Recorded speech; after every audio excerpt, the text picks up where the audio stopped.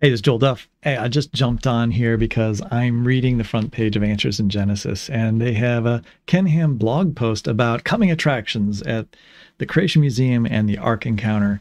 Uh, but there's one little tidbit that was mentioned that I just had to get on and say something about uh, because a prophecy of mine has been fulfilled, right? Well, prophecy, kind of a strong word, but I made a prediction a couple months ago. It wasn't really a hard prediction to make, but that prediction is coming true. Let me show you what that prediction was. I'm going to go back and show you the video in which I made that prediction as well and, and how I kind of framed it. And then we'll check out a couple other things about answers in Genesis. So here's Ken Ham's blog, and he's uh, he's talking about exciting new developments coming for the Creation Museum and the Ark Encounter. Really, it's no like really big construction. They've got a lot of construction there going on. These are like here's the newest things that are coming. Uh, that includes a children's museum, basically as an extension of the Creation Museum. Then they're also going to add uh, or update the virtual reality theater that they have. Um, they're adding a fourth deck to the Ark. But here's why we're here. A third project is very interesting one with enormous potential for future impact. But first, a reminder technology is great, but it can be used for evil or good. Hmm, I wonder, wonder how they're going to use it. Going to use it for evil or are they going to use it for good? For instance, Answers in Genesis is on all the major social media platforms. All right, we all know that social media is evil, but we're on all those platforms um, because people use such platforms for evil, but we use them to proclaim far and wide the truth of God's word and the gospel to market the ministry to all of our outreaches. All right, fair enough. I understand that. You know, they are an amazing marketing operation. Uh, they know how to pull all the levers and to get the eyeballs and clicks. I'm sure we've all heard of AI. Ah, here it comes artificial intelligence. There's no doubt this is becoming a major force in our culture in all sorts of ways. However, AI is based on human programming, which contains all kind of biases. Right. The AI has to be trained. Like what material is it fed? How does it come up with the answers that it comes up with? A lot of it is just, you know, machine learning on material and it's going to give you the most common response given the types of words that you put in. And this is where I've mentioned in the past. It's not like it's going to come up with uh, young Earth creationist friendly answers. And even if you ask for a young Earth explanation for something, yes, it'll come up with like, here's what a young Earth creationist might say. However, you should know, you know, it always adds in the little blurb about how this is not a mainstream idea. There are those that disagree. Now, Answers in Genesis doesn't want you to see, you know, alternative viewpoints that aren't expressed in a way that they would like to express it. And so, wouldn't it be great if we had an AI tool that only gave a worldview response that is based on a young Earth? Right? We need a young Earth artificial intelligent agent. That's what they plan on making. And that's what I predicted they were going to make. I suggested this is exactly what they're going to do with their multimedia enterprise that they've been developing. So, as it says here, when one asks AI questions, the answers are not necessarily based on convictions which come from God's Word. We have access to expertise to build AI based on Christian assumptions, including our Answers in Genesis database. Yes, they have a voluminous database, and they've been collecting more and more and more material that fits in the Answers in Genesis worldview. They have videos, they have pamphlets, they have articles, right? So all of that stuff can be in the terminology of AI building scraped, right? All that data, all that information can be used to train an AI agent or model to respond only within the context of that particular worldview. Such an AI tool would stand alone. All right, it would be special, it would be unique, and it would be incredibly important. Like ChatGPT for apologetics. I mean, there actually are already custom chat GPTs that are for Christian apologetics, but all apologetic issues with our specific bent to them, that's not yet been created, but they're on their way to doing it. It can be used to enhance the Ark and Creation Museum with technology based experiences for all ages. For example, we're bringing Noah to life with a life sized animation who talks to guests, answering questions about the ark and the flood. We're already excited to bring the results to early testing. The full potential of AI for apologetics is huge. And what they're talking about there is like, here, well, here's your Noah, right? And you have your animated, or in this case, a hologram Noah. And you could walk up to it and say, Noah, like, how did the kangaroos get off the ark and get to where they're at? And Noah would respond, right? I mean, you could you could use uh, video generation in order to fit to voice, right? Uh, AI generated voice. And where does the answer come from? Their vast database that they've trained the AI on. So Noah will simply give you the response that is derived from the answers in Genesis literature. It really is a natural progression. And this is exactly what it's going to be used for in many other contexts outside of young earth creationism. They're simply uh, joining the ride. So let me show you real quick what I had said about this, my prediction about answers in Genesis, which is a lot of what I'm saying now, but little bit different way. Let's just give that a little a quick listen. Uh, so that it's the thing that is seen by the most people. And there's not much, not really much chance that any of the current AI chatbots are going to do that, right? They're probably going to not represent the young Earth answers, young Earth perspective. Um, so this is a long-winded way up. of saying that uh, I, I did. I'm, I'm I think answers in Genesis will do. Now, whether they've thought of this or not, I don't think that I'm going to uh, be like giving them some kind of inspiration. I think that they've already thought of this. But if they haven't, uh, they're going to think of it anyway. So it's not like me, I'm giving them some kind of gold nugget. I mean, it is if they haven't thought of it. I gave you um, gold nugget. This golden idea. Uh, they have the resources, unlike the other organizations. Uh, Answers in Genesis has has enough collective resource. All right, but I mean like videos and written stuff, right, to train basically um, an AI chatbot on its own data. Right? And you can do that these days. You can take ChatGPT 4, if you have a paid account, you can upload a whole bunch of information. Actually, for me, it's kind of limited, but for others, you know, if you buy a more enterprise account, you can upload huge amounts of material from your own organization and then have it read all that material so it stores in its memory. And then you can simply search that knowledge base and say, get your answers from this knowledge base, as opposed to get it from just all the rest of what you've machine learned from the rest of the world, the right database right? So then if somebody comes and searches through this particular chatbot, like it's a sub chatbot, uh, the major chatbot, right? Uh, ChatGPT 4, four answers in Genesis, and you could put, they could put it on their website, they could put it on their other multimedia um, pages. And those who come to answers in Genesis, right, looking for answers from Genesis, then we'll actually get answers from Genesis rather than answers from the rest of the world, right? So they create their own internal search engine uh, and this is just the next step in terms of creating a silo, right? Creating a, a, Christian wall, you know, bridge against the rest of society. You've got your. I'll show you an example of this. You've got your. Uh, you've got your books. You have your approved reading lists, right? You have your Bible uh, curriculum, um, and so and you have your news. You have your uh, videos that now are covering all kinds of social issues. In other words, almost any question. Actually, the dream of Ken Ham, I'm sure, is that any question you have as a Christian could could be answered from answers in Genesis, right? Within this particular perspective of a young Earth right? And their particular hermeneutic or way of reading and understanding the scriptures. Uh, and that would then apply to all cultural issues and all questions of our day. And if you can get people to be within that wall, you know, believe like I need to exclude this outside world, then they provide a search engine, right? They provide their own World Wide Web or access to information that is derived from their own knowledge base. And therefore it's biased toward answers in Genesis, right? They're saying, you know, the current chatbot, you know, ChatGPT 4.0, uh, and Claude 3 and Perplexity, and there's, you know, uh, Meta has one, and um, what was that, Llama 3, and I've only just kind of barely played with that one. Um, yes, all of those do not have a bias towards a young Earth. They have a bias toward old Earth perspective uh, on any questions involving in geology and evolution and uh, biology and astronomy and so forth. Um, and so they're going to, they're going to, I'm saying they're going to, yeah, because I really believe they're going to do this, right? Once they figure this out, um, this is the next step in their own evolution as a multimedia enterprise. Yeah, I think they're figuring um, it out. And this capturing AI to turn it toward uh, shaping and influencing the people within their sphere and basically maintaining that sphere. Uh, they're going to use that as a, as a way of continuing to manipulate people. This is this is really not a concern just of me. I mean, I've, I've watched enough videos now. This isn't just about Christians versus or young Earth versus old Earth.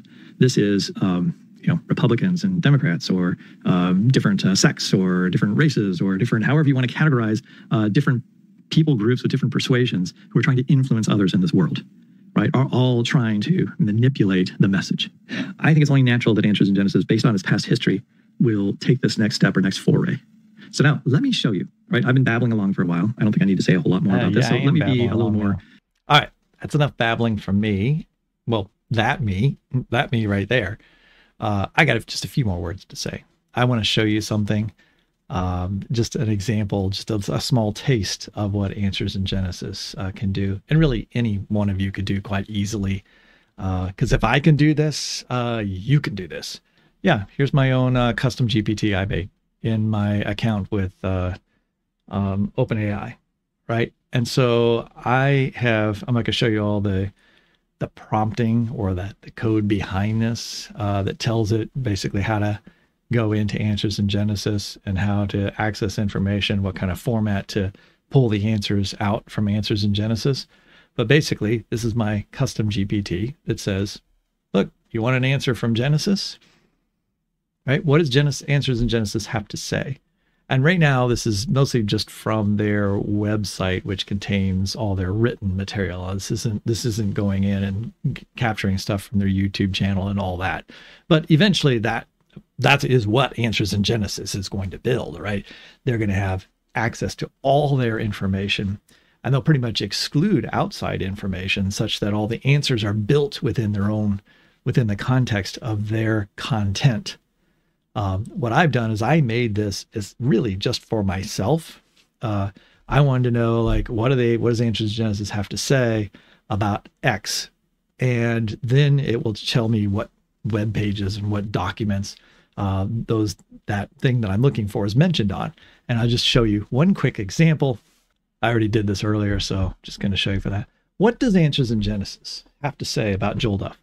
All right, so it looks at the Answers in Genesis uh, website, collects six different locations where I mentioned, which is about right. I, I know the Answers in Genesis website well. Of course, I know where I've been mentioned in the past. Uh, and here's what they conclude. Answers in Genesis is critical of Joel Duff, a biology professor at the University of Akron, for his positions on creationism, particularly his alignment with theistic evolution and his involvement with BioLogos. Yes, they always always mention evolution and BioLogos every time I'm mentioned.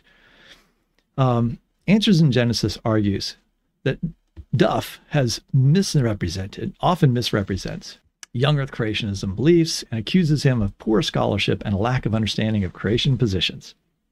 I'll leave that up to you, the listener, to decide whether I really lack understanding of creationist positions and that I have poor scholarship and I'm not presenting them fairly. This suggests that his critiques often show a fundamental misunderstanding or oversimplification of why of the YEC framework.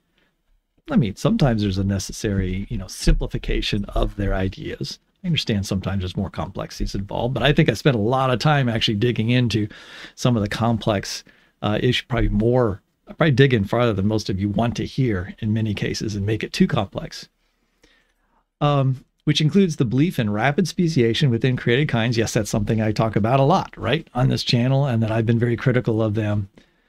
Uh, after the Genesis flood, a concept Answers in Genesis describes as based on biblical interpretation of species diversification within the limits of kinds or mean, and, and helpfully are giving me the links which I could go to the websites that contain that particular information uh, about what I've said there.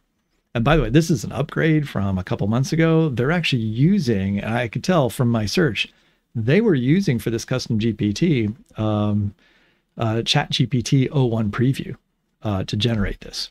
Answers in Genesis asserts that Duff and other BioLogos associate affiliated writers dismiss the validity of a lateral Genesis, opting instead for evolutionary interpretations they believe undermine biblical authority. Answers in Genesis notes that Duff's perspective promotes a synthesis between evolutionary theory and Christian faith, which Answers in Genesis perceives as a compromise that strays from scriptural orthodoxy. Yes, the word compromiser comes up with my name almost every time I'm mentioned on the site.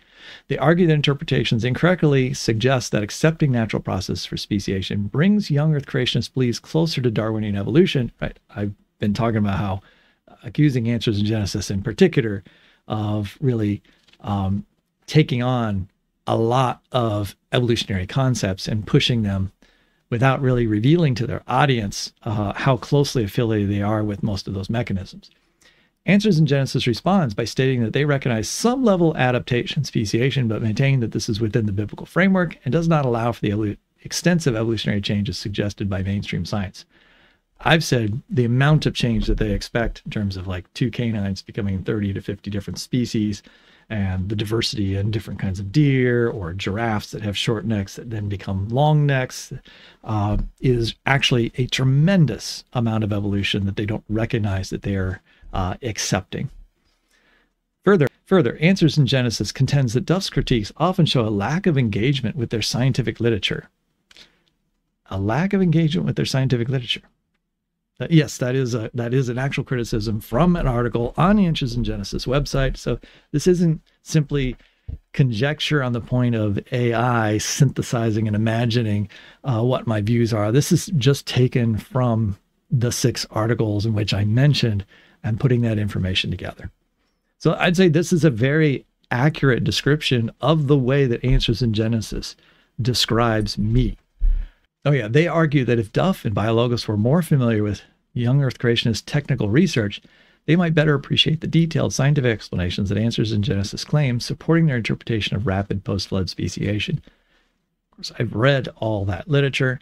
Answers in Genesis believes that Duff's assertions about creationists altering their beliefs to accommodate modern science lack historical accuracy and oversimplify how young Earth creationist scientists apply biblical interpretation to scientific inquiry. Then here again, a couple more references. Um, and then it suggests like here's some other things you might want to consider or know about. And so it suggests i might want to uh, how do they address my claims uh, about you know further more information about that? I didn't explore that. But anyway this gives you an idea of the way that a custom gpt is going to interact with the world of information in which you can say i only want to know what this one place and this one this one organization has to say about me. This is no different than what a company would do in creating a chat bot in which you are engaging in a conversation about what services does that company have. It's not pulling in information from other companies. It's just using that company's information. And that's what Answers in Genesis is going to do here. They're going to they're going to generate an internal search engine and eventually it'll be all integrated into Answers in Genesis website and all the other resources they have, right? And so you can get a subscription to their uh, to basically you know more access to more content, homeschooling material, all that kind of stuff, right? Everything, all different forms of media will eventually be wrapped into this, such that you can take your student, take your kids, and you can let them, you know, access like this is a Google search, right? Except this Google search is going to come up with um, only answers that Answers in Genesis approves from, since it's only coming from their material. Okay, I just wanted to, I, I saw this on the front of Answers in Genesis website, and I kind of knew this day was coming. And so it gave me another chance to talk about uh, how uh, Answers in Genesis is going to take advantage of AI. And they're always on really pretty close to the cutting edge on things. Um, and that's why they will, as I said my other video, um, this is where they get way ahead of some of the other creationist organizations, right? They can even draw upon the information of those other organizations. There's nothing really that those other organizations can do, right? They can actually scrape, you know, they can gather all the information from all different, uh, well, they can also uh, moderate that information, right? That data.